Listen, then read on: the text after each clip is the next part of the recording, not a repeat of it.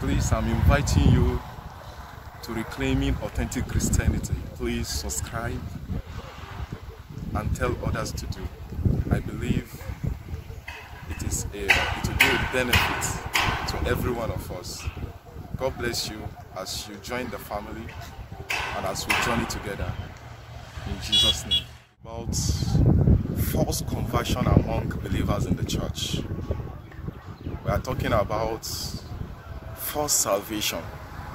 In fact, the scripture made us to understand that many Christs will come and many false prophets will come at the end of the day. That is Matthew chapter 24, where Jesus Christ was giving us the events of things that will happen at the end of time. And today we want to discuss a little about it, what it means to be a false Christian, what it means to be a false believer, what it means to behold or to hold a false Christianity. And the truth is that many people in the church are really holding false Christianity as faith. I pray that God will help us as we journey together to behold authentic Christianity, to behold something that will make you see the face of God at the end. Because that is our primary purpose, although we also have secondary purposes why we are in the kingdom of God.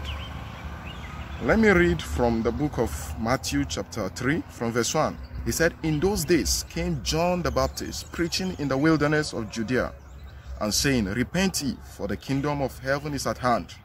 For this is he that was spoken of by the prophet Isaiah, saying, The voice of one crying in the wilderness, Prepare ye the way of the Lord, make his path straight. Now, my emphasis is, is in verse 1 where he said, Repent ye. Repent ye. Sorry, my emphasis is in verse 2, where he says, Repent ye. Now, if you look at the body of Christ, although I'm not here to criticize, we emphasize more on confession, which is very good. In fact, the gate, the entrance to the gate to the kingdom has to do with confession. You have to confess the Lordship of Christ over your life. But then the other aspect of repentance, in fact, the word repentance is becoming an obsolete word, not actually being used in the, in the churches today. There is need for repentance, my brothers. There is need for repentance, my sisters. When you come to the kingdom through confession, in fact, a dead faith, one of the symptoms of a dead faith is that it lacks work. When a faith lacks work, that is dead. So when the Christianity you are holding is all about I was once born again because I make some confessions, is a sign that there is something wrong. You know, we have tons of Christians up and down, born in the church, raised in the church, but yet they are nothing different from somebody being raised in the altar of Shango. They are nothing being different from somebody raised in the hope of prostitution. And that is why this morning the word is coming unto you. Do you just hold the word of repentance do you hold the words? Do you hold the words of just confessing? I'm a Christian. I'm a Christian. I confess Jesus. Yes, as good as that is, that will not necessarily be enough. There is a point of repentance where you repent and turn away from your evil ways. It's like someone heading, a sinner actually is someone heading to hellfire. And then just because you confess Jesus and you are still on the way to hellfire, that does not really change anything. What really matters is when you confess the Lordship of Jesus and then Jesus began to rule over your life. And then you turn you turn from your old ways, you turn from your prostitution, you turn from your evil ways, and then you focus on heaven. And that is when you now begin to behold, to look on to Jesus. As you look unto him, you become like him.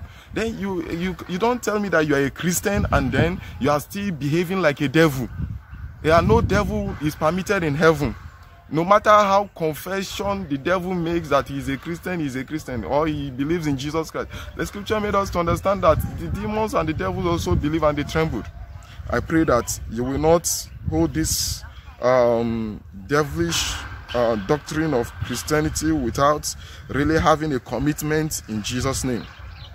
John the Baptist, I'm starting with John the Baptist because uh, he opened a chapter, a door, um, uh, someone preparing the way for the Lord. This is the message he preached. In fact, um, Herod even listened to him. But yet, just listening to a preacher or to a message does not necessarily mean that um, it will affect your life. Herod, as we are speaking now, we believe is in hell, roasting in the lakes of fire. Now, I want us to just look at Matthew chapter 4, verse 17. Matthew chapter 4, verse 17.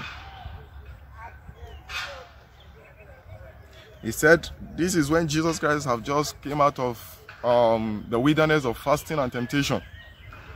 And the first message, he said, and he began to preach. From the scriptures now, he said, From that time, Jesus began to preach and say, Repent, for the kingdom of heaven is at hand. Always, when you look at the ministry of Jesus, when you look at how he preaches, you notice that he always carried the word repentance. Repent. There is need for repentance. I'm emphasizing that word because it's becoming an obsolete word in the in, in, the church. Men are now building gods of their own image. Gods, men are becoming gods. A message that only satisfies their own flesh. Now let's look at, as I summarize this episode, let's look at Acts chapter 2. This is immediately after Pentecost, verse 38. Acts chapter 2, verse 38. He said this is a, a response to their request. Let me start from verse 37. He said, Now, after Peter has already preached a message that has touched their heart, that has really strike, it does not really uh, uplift their emotions. No, that is not the aim of the fathers. The aim of the Holy Spirit is to go deep to your conscience, to speak to your spirit man, that you will be transformed and make eternity with God. In verse 37, he said, Now, when they heard this, they were pricked in their hearts. When was the last time you heard a message that you were pricked in your heart? When was the last time the truth came to you as it is? And said unto Peter and to the rest of the apostles, Men and brethren, what shall we do? Then Peter said unto them, Repent. You see the word again, repent. And be baptized, every one of you, in the name of Jesus Christ, for the remission of sin, and ye shall receive the gift of the Holy Ghost there is always need for repentance it's very very important before you become before you say you are a christian there must be a transformation. There must be a change in your life. It's not all about in the crusade i raise my hands up. As good as that is that is not enough. There must be a transformation. You cannot uh, be uh, full of devilish characters. You cannot be full of satanic infested nature and then still be hoping and still be deceiving yourself that um, you are going to heaven. No, it doesn't work like that. So I implore you today to please come into what is true. Come into what will help you. There is no a use of beholding something that does not really count in eternity. And therefore, this day, if the Christianity you are beholding is all about something that has to satisfy your emotions, uh, there is no there is no time in your life that the word came onto you that you were pricked in your heart although you may not necessarily even need to be pricked in your heart but there is a time when the, uh, there is a conviction in your mind that you are a sinner. You are, you are heading to hellfire. And then the word of god came to you and then there is need for transformation. After you confess the lordship of jesus christ there is need for jesus christ to be the lord over your life. Yes, it's not only, it does not end at confession. It also continues as an act where you act under the lordship of Jesus. When you act under the constitution of heaven, which is the Bible.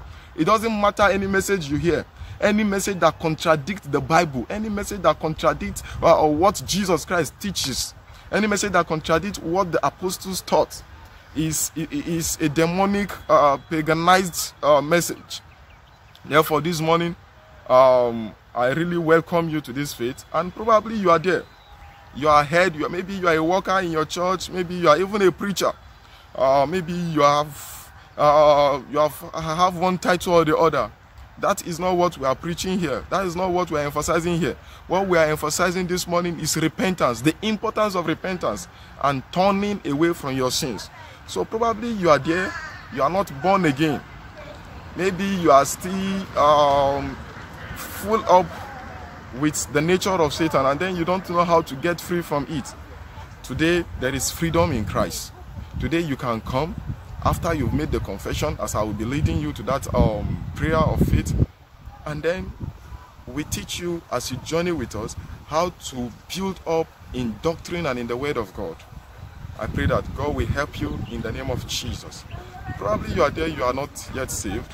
Probably you are a church member. Probably you are a worker. Probably you are even a pastor listening to me. It doesn't matter. Your soul is what I'm very, very much interested in. Probably you are even famous. That does not really matter now. What really matters now is that are you saved? You must be saved before you are safe. Are you safe if death should come? Adventure it happens now. Are you safe? Will God be pleased to see you? And if the answers to all these questions is a capital no, please, I implore you, you can just as we've been taught, confess the Lordship of Christ over your life. Probably you find a good Bible based church you attend, and then you read the scriptures. I will recommend you start from the book of John. And then you begin to ask God for the renewal because you have to read the scriptures and then the scriptures impart you and help you in renewing your mind. That is very necessary. Your culture must change. I hear Christians saying that they are Christians, but then they still hold on to a culture, a satanic and demonic culture inspired by Satan's. No. Christianity has its own culture. Yes, Christianity has its own culture. And your culture, in whatsoever point it contradicts the culture of Christianity, the culture of heaven, your culture must bow to it. So this morning, God bless you. And I hope that this message has really spoken to you. Thank you very much. And I hope seeing you again in this channel. In my next video, I'll really be emphasizing on our sexual purity and uh, we will be taking our emphasis from Matthew chapter 5 verse 28. So please, I want you to remain tuned to this uh, channel as we release God-inspiring and nourishing uh, materials. God bless you. Thank you very much. My name is Brother Oluwatun and I invite you to this wonderful YouTube channel. Um, it's a pleasure that I will really appreciate if you subscribe and you join us in this community of believers, young people vibrant for God that really want to see Christ glorified in our generation. So this um, YouTube channel is um, uh, reclaiming authentic Christianity and our aim and our purpose is to see that true Christianity prevail over all sort of paganized Christianity around the world today. This is a channel where you actually listen to the truth and nothing but the truth. And we have a lot of series of programs in which uh, will be very educating and will be mind-blowing for any person that have the interest of the gospel as it is in the scripture. So I welcome you to this journey as we take a lifetime journey together. God bless you once again. Please invite your friends and your families. Thank you very much.